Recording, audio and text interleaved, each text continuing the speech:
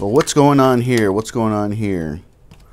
I wanted to show you guys a very economical way to clean fuel injectors. You can do this for Toyota, Honda, Lexus, Acura, Subaru, Kia, Hyundai, any fuel injector you need to have cleaned.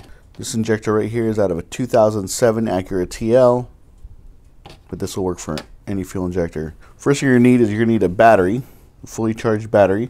You need some uh, carb cleaner, choke cleaner. This is from Gumout. All this stuff, this is from O'Reilly, O'Reilly Auto Parts. You're to need a two inch long of tire valve stem. To need some alligator clips. To need some super glue. Uh, you need to use the cap off the end of the valve stem, so don't lose that. You're to need some drills, drill bits, I should say, a drill, and uh, we'll get rocking and rolling. You also need this straw off the uh, off the bottle of uh, carb cleaner. To drill the hole for the straw into the top of the valve stem or the cover of the valve stem, I'm going to use a 5 64th or a 30 32nd drill bit. So I'm just drilling this hole to make room for the straw, so it doesn't need to be dead on, but I'm going to try to get dead on.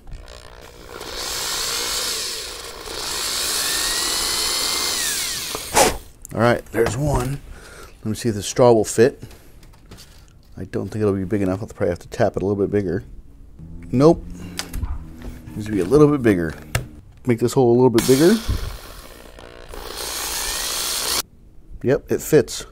Next thing we're going to do is get it lighter and heat this end up and then have it uh, curl over a little bit and then have it stuck on the inside of the valve stem here. You only need to hold this here for a second. Let it melt just a little bit. It's melted. I'm bringing it down in. It kind of rolled back, the straw rolled back, and now I have it stuck on the inside of the valve cap. Yep, I have air through there. Take my super glue and seal the top off. So I have a tight, tight fit. So the idea is, take the end of the straw, put it into the sprayer right here, put the other end onto the end of the valve stem, and uh, we'll start cleaning this injector. So next thing you need to do, inside the valve stem, there's a one-way check valve. Looks like this right here. So you need to get that out. Uh, they, supposed, they sell special tools, but you don't need special tools to get this thing out. Right down there you can see the valve stem. I just used a pick.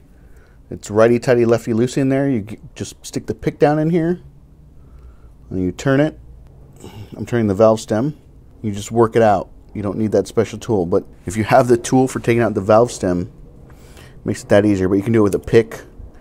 Probably do it with a fork. Just any piece of metal that'll get that free and clear. Okay, so this one's free and clear. It's got a hole all the way through it.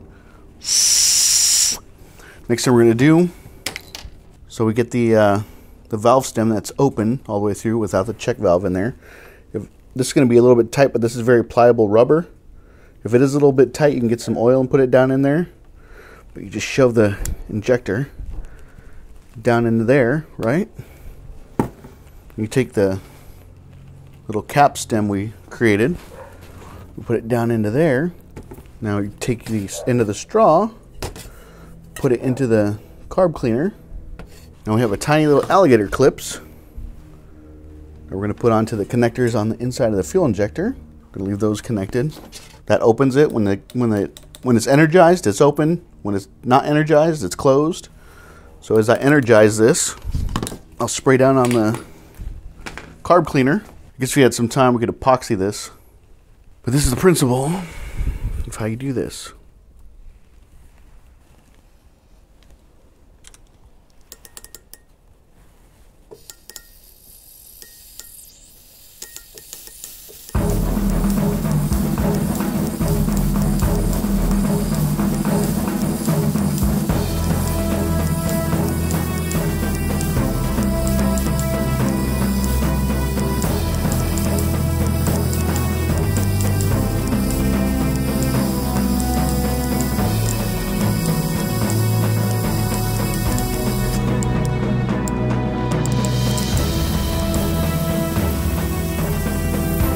You go.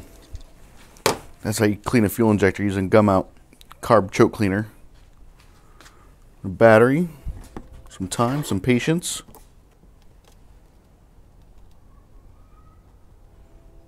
If you found this video helpful, please consider subscribing to Bundy's Garage on YouTube.